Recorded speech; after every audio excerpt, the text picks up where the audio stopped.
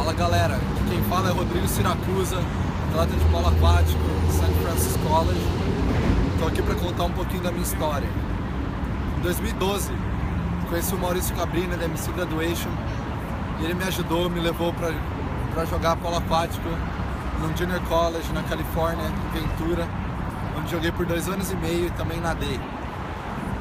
Durante esses dois anos e meio, o Maurício me ajudou muito me ajudou com os contatos e graças a isso a gente conseguiu essa transferência para uma divisão 1, onde agora eu jogo polo aquático através de uma bolsa atleta e uma bolsa acadêmica aqui em Nova York, Brooklyn Heights, é onde eu estudo economia hoje em dia na frente de Wall Street.